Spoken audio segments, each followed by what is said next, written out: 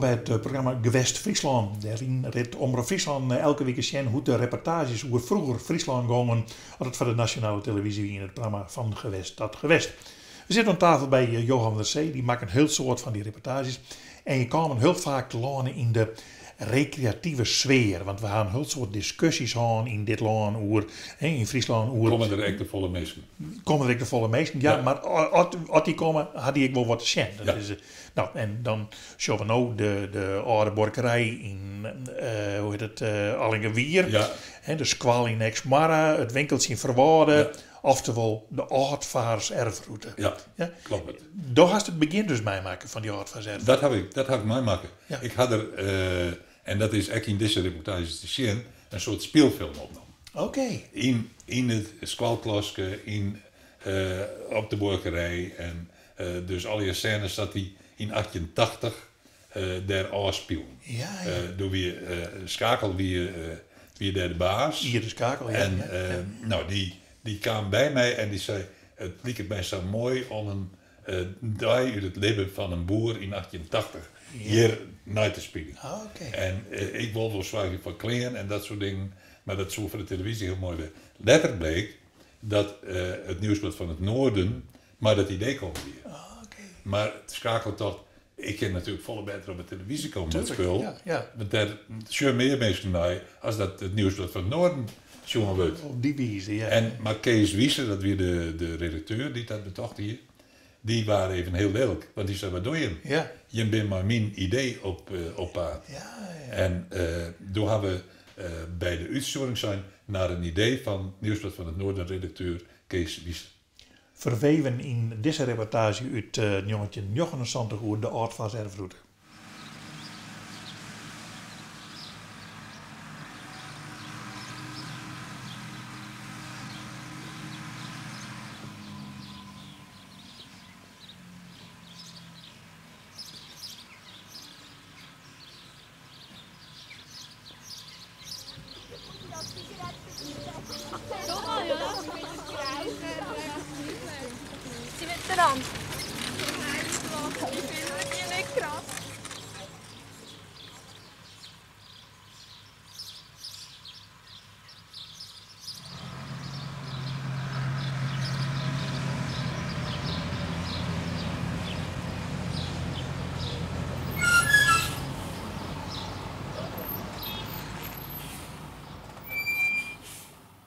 Oudvaars erf is het Fries voor het erf van onze voorvaderen. En dat heeft betrekking op een drietal objecten die zich bevindt in de, wat wij noemen de magische driehoek, Makkum aan de Zuiderzee, IJsselmeer, Workum en Bolsward.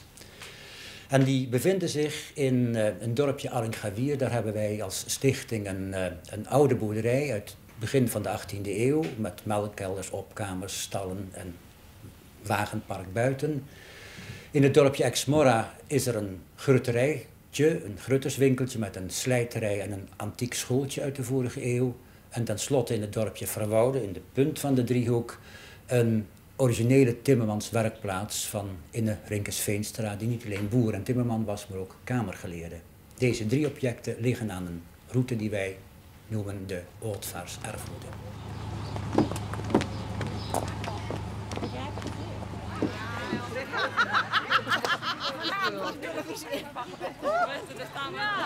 Ik wil een strak. Wat ga je dit voor de televisie of zo? Die is vaak niet in de shirt, die dat Oh, mag ik dit moesten we maar even komen. Ja, nee, als Peter Roel lachen. En als Peter Roel lachen, dan is het drie. Ja, maar dit. De players waar we op het ogenblik in zitten, dat is de players die dan al een 124 jaar oud is. Je kunt het zien aan het gebouw zelf, vooral aan het bienwerk wat we hier hebben. Het nieuwe dak dat is er geweldig prachtig mooi oplijnd van twee lint. En alles bij elkaar is het op een players die dan echt wel besjen leien mij. De inventaris van de players die is in op de tijd van voor 1880. En dat weer een tijd van dat de boerin en de boer zelf aan het boter en moeten winnen.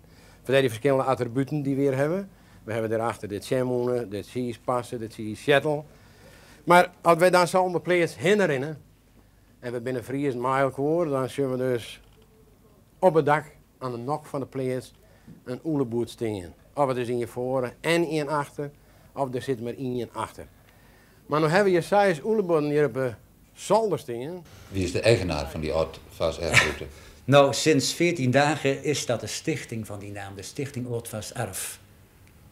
En wij hebben dat gekocht van de eigenaar, Ide Schakel, een bouwondernemer die zich specialiseerde in restauraties. En u weet zelf wel dat een privéman geen subsidie krijgt van de overheid voor restauratiewerkzaamheden. En dat is voor hem reden geweest om uit te zien naar een oplossing. Daar zijn wij twee jaar geleden ingestapt. De man heeft zijn grote verdiensten, heeft dit allemaal bij elkaar gebracht en tien jaar met de bedoeling om dit voor het nageslacht te bewaren. Grote verdiensten. Wij als stichting en vele anderen hebben gezegd, dit mag niet verloren gaan, want als hij het niet voor elkaar krijgt om het te exploiteren, dan moet hij het uit de hand verkopen. Nou, dat mag niet, dat wil hij zelf ook niet. Dus die stichting is gevormd en aanvankelijk hebben wij twee jaar de zaak gehuurd met de bedoeling om wegen te vinden om het geld op te brengen. Het is getaxeerd door twee taxateurs. We hebben een bedrag in ons hoofd en dat bedrag heb ik trachten bijeen te brengen. Daar zijn we maar gedeeltelijk in geslaagd, mag ik u zeggen. Maar het koopcontract, het definitieve koopcontract is 14 dagen geleden getekend en wij zijn nu officieel eigenaar. Het zal niet goedkoop zijn. Maar wil u het bedrag wel noemen? Het was 7 ton. Zo, en dan moest het maar gaan. Ja, eh Japan koffie. En eh nog een dring in de sjeppen. Kilo 80. En dan ga je het wel even meer. Ja, goed betekent. Oh ja, en wat draad. Maar de vrouw wil het zin, maar zit maar. Ja, ja. Hè? Draad en green en jet. Nou, zeg maar. Brood en green. En melk graag, denk ik. Ja, alsjeblieft. Ja, dacht ik al. Wat een geld, hè? Ja, nou, het is nog even makkelijker, eh, zeg maar.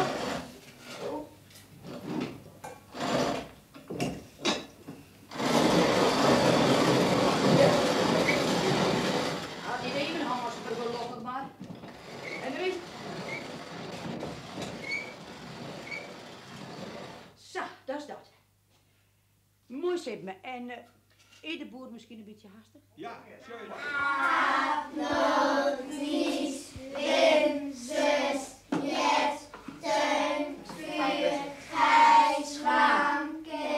Deze dus ook?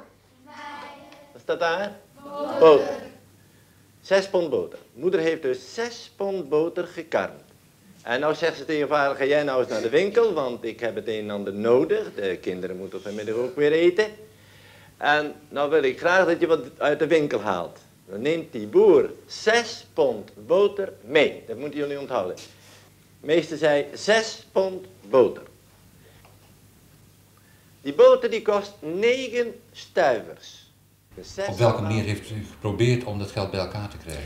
Nou, we hebben geprobeerd eh, om in de eerste plaats de mensen in het Friesland hier te, hiervoor te motiveren. Maar het licht kwam pas echt op groen toen wij door een gelukkige ingeving, dat is gewoon een flits geweest, eh, contact hebben opgenomen met het Prins Bernhard Fonds. En daar is in 2,5 maand tijd drie ton uitgerold. De provincie kon niet achterblijven, geweldig, anderhalve ton. En toen zijn we echt gestart.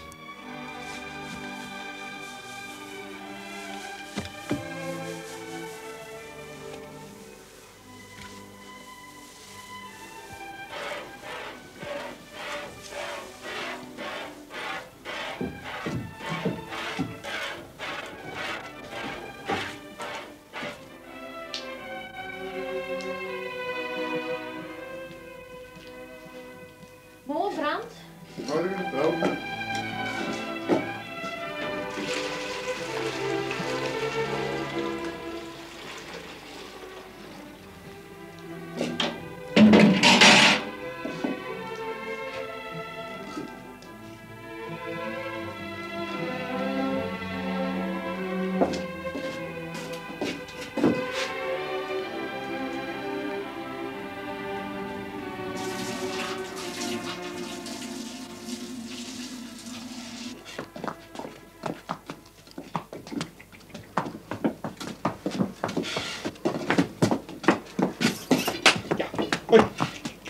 Hoi.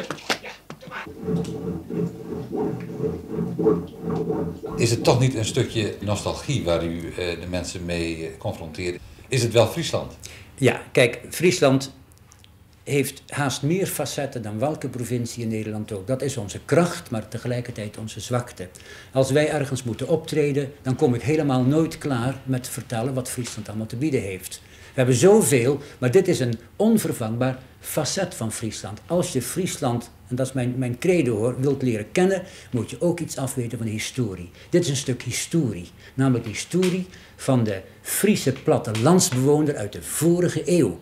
Dus hier kun je zien hoe deze eenvoudige mensen, boer, winkelman, timmerman, smid, in de vorige eeuw leefden, woonden, werkten. De Friese zelf kunnen hier constateren hoe het was met een voorgeslacht. En ik zou ze niet graag de kost willen geven uit Friesland die hier komen kijken. Bussen vol. Dat is wel mooi, zo'n uh, oud-directeur uh, van het VVV, uh, Kooiman, die dan uh, zei het hulp door wij. Ja. Hè? En, en ik, ik heb dit gehaald en Ja, ik heb ja, dat. ja, ja. En het wie toch het idee van hier de schakel. Het weer een idee van die de schakel, Ja. maar die, eh, die worden wel oud, denk ik. Ja. En die hadden eh, goed verkocht aan die stichting. Ja, Tenminste, Kooiman had het over zo'n 100.000 goenen. ja, ja. Nou, dat is een soort geld. Maar dat geld kwam, kwam dus ik weet net van elkaar op hier door. Wie. Nee, hij heeft wel een soort geld. Een soort geld, ja. Zij er in ieder Ja, geval. ja. En nou ja, de oude toneel, eh, die heeft je mooi in verweven. Ja. Hij dat, dat ooit ik nog eens een keer op een oren manier snel litten. Nou, we hebben het zelfs in deze serie van eh West-Friesland hebben we het al een keer vertoond. Het wie een, eh, een programma van een kwartier. eh, en daar zitten echt wat moderne dingen tussen. En dat is toen een keer op Christian, in we een kwartier stuurt, die het uitstuurt. En heel in het begin, wie een van de eerste kleuren dingen. We komen ook daar aan het meest nieuwradige wat ik ooit zien heb in eh, van gewest tot gewest. Dat is een mechanisch kunstwerk. Eh, ik zet je eerst maar even zitten, dan praten we er eens even over. Veel succes heeft Elzinga met zijn bladomslaande niet gehad. Dat was wel het geval met zijn mechanisch kunstwerk Salomo's Eerste Rechtspraak, dat hij in 1905 presenteerde. De kranten stonden er al gauw vol van. Overal in het land werd het zogenaamde vermaard mechanisch prachtkunstwerk uit Friesland bewonderd. Elzinga voegde daar in een advertentie nog aan toe, destijds gezien door Hare Majesteit de Koningin en haar gevolg te Leeuwarden. Het mechanisch kunstwerk is in vier jaar tijd met heel eenvoudig gereedschap gemaakt door een man met alleen een ambachtschoolopleiding. Toch moesten twee medewerkers van de afdeling atoomfysica van de Rijksuniversiteit in Groningen eraan te pas komen om het in de loop der jaren vervallen kunstwerk te herstellen. Het was zo dat wij in september van het vorige jaar een exemplaar van het Fries Museumbulletin in handen kregen. En in dat museumbulletin werd een artikeltje geschreven door de heer Haan, waarin eh, uiteengezet werd hoe op de zolder van het Koopmanshuis in Franeker een eh, mechanisch kunstwerk stond, waarin uitgebeeld was het, eh, de rechtspraak van Salomo. En eh, dat ding dat had er al jaren gestaan, dit kunstwerk. En het werkte niet meer. Toen wij daar samen naar gekeken hebben, toen waren we eigenlijk al verloren. We waren gewoon wild van dit ding. En we hebben dit ding meegekregen hier naar Groningen. En we hebben in, in de vrije uren, s'avonds en tussen de middag veel, hebben wij eh het ding bekeken. En ik kan u wel zeggen, de eerste dagen dat we het ding hier hadden, toen hebben we eigenlijk niet anders gedaan dan maar in dat apparaat loeren en kijken zonder dat we de handen daarin staken. Want eh, het lag allemaal door elkaar. Eh, de touwtjes die overal dienst deden om de figuren te verplaatsen, die, werden, die waren voor een groot deel weg en een paar lagen er nog kapot in. Maar we hebben toch zo successieflijk eh, de hele boel in schema's kunnen eh, weergeven. En we hebben ook kunnen uitvinden hoe de verschillende eh, kabeltjes moesten lopen, hoe de verschillende figuren kwamen te bewegen. En na verloop van tijd hebben we dan ook elkaar de hand kunnen geven en kunnen zeggen van, kijk eens, het loopt weer. Dit is het moment waarop het mechaniek in bedrijf gesteld wordt. We zien hier aan de voorzijde een wagentje voor onze technici, een halve slotboer die grijpt in een schroefspindel die we hier voor aan het mechaniek geplaatst zien.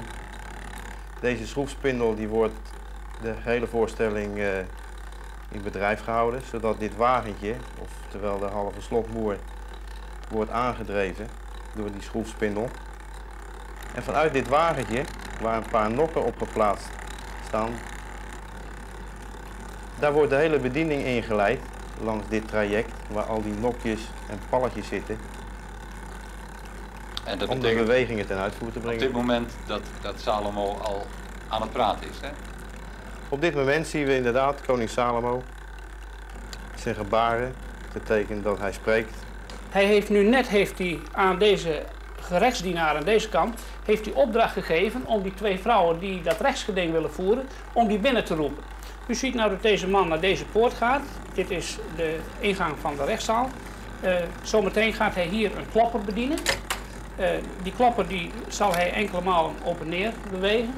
Daardoor weten die vrouwen uh, dat ze naar binnen kunnen gaan. En u zult zometeen zien, nadat deze gerechtsdienaar zijn plaats weer heeft ingenomen naast koning Salomo, dat deze vrouwen de rechtszaal binnenkomen.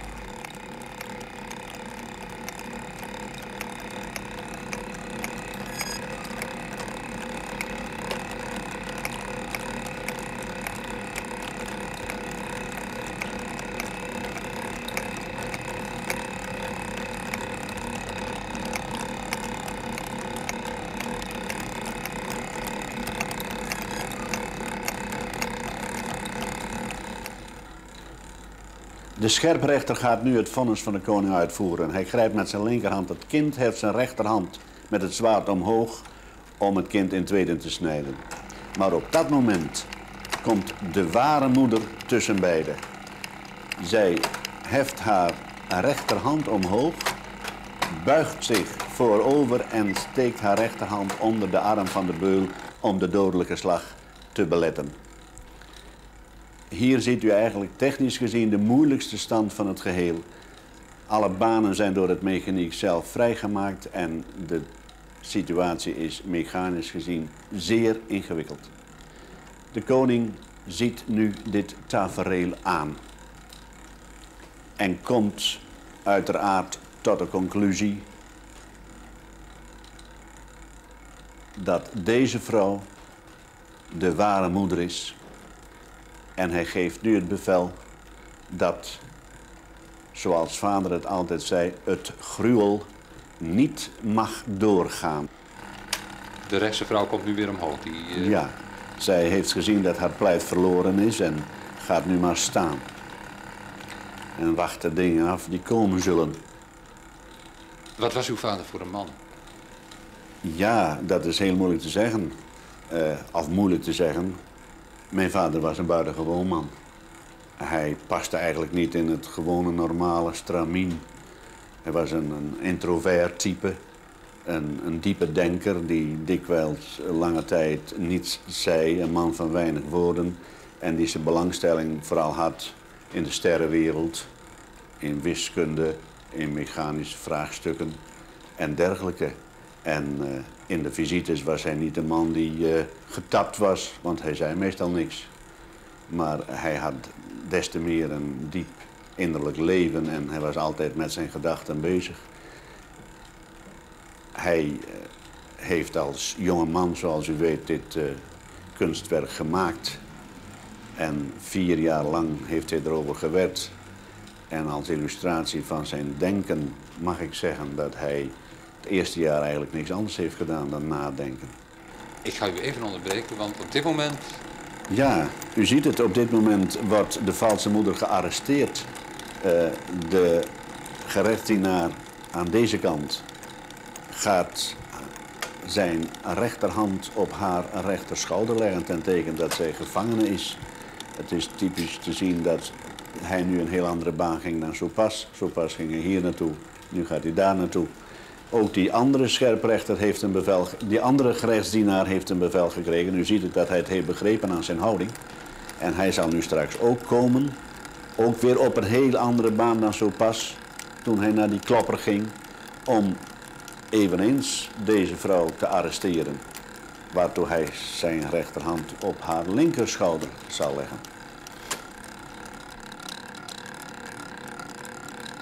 nadat hij dit gemaakt had, heeft hij een eh, automatische bladomslager gemaakt. Waarbij het mogelijk is om, wanneer men van deze bladomslager gebruik maakt, hem op de piano, op het orgel zet, men eh, de bladen om kan slaan zonder dat de handen van de toetsen worden gehaald. En eh, dat instrument is ook nog steeds in mijn bezit en dat werkt ook nog. Een jochtzaak uit de tijd van koning Salomo dan in een mechanisch kunstwerkje van, hoe heette die man? Die, die, die- Eh, Elzinga. Elzinga. Jan K. Elzinga. Ah, Oké. En, en, en, en, en eh, draait dat nog? Eh, nou, het zit nou in het Mattenahuis in, Ja. in. Ja. En daar ben ik het, het zien komen. Doe we het nog het Koopmanshoes. Ja. En nou, daar hingen ze dat ding, want het, het is eerst te komen in het planetarium. Omdat Harke Terpstra, die het planetarium helemaal daar opnieuw opbouwt. zo'n Koe koning Salomo ik wel. En die zo Salomo, dat er net. Nee, nee. En toen uh, ze maar eh, ja, op een paar gaan naar de universiteit in Grains. Ja. En daar waren twee man, nou die hadden er ook rustig lang naar zitten te zien. En die hebben dat, dus om Dutsen hoe dat wie, en die hebben makken. Prachtig. Dat En- soks. Dat soks besteed. En dat, nou, er is een boekje van, dat, dat heb ik hier in de hand. En daar, daar just bijvoorbeeld in dat die Elzinga, die hier mij dit kunstwerk eh, en mij een, een, eh, een draagbaar, Ja. die naar alle Zeeland aan. Ja, ja, ja. ja. En eh daar vertoonde het. Ja, ja. En hij, eh, wie er ook is op Gretsko, dat eh, de koningin Wilhelmina had het dus op een bepaald moment action. Ja, ja. En, nou die, ja, en de zoon van Elzinga, Ja. eh, dat weer een inspecteur van het onderwijs, die, eh, die nou doe ik vroeger op legerschool wie die dat al, dus dat weer van u een autoriteit, maar die kon op dezelfde, dat gedragen manier het verhaal vertellen als dat ze in high-tech die. Oh, geweldig. Ja. En die man die, die hier dus echt eh, een automatische bladomslaander Ja. voor, eh, voor de piano. Hier de pianist die een touwtje om, om het knibbel. En als er dan dit hier, dan gaat het blij, dan we dat zelf net doen. Dat hebben wij exilnetten in de studio, doen we dit programma eh uitsturen. Toen een pianist meegenomen, Ja. dat ding mee. En nou ja, dat, eh, dat, dat weer dan echt nog te zien. Ja, uniek. Dat Ja. Is, eh, ja.